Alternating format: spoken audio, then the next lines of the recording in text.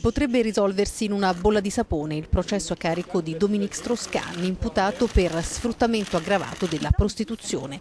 All'indomani della richiesta di proscioglimento puro e semplice del pubblico ministero di Lille, la parola è passata alla difesa per l'ultima ringa. Uno dei legali dell'ex direttore del Fondo Monetario Internazionale rompe il silenzio, fiducioso di ottenere una soluzione completa. Il caso collassa su se stesso. Le nostre argomentazioni hanno solamente dimostrato questo. Aspettiamo ora la decisione del Tribunale, ma siamo ottimisti.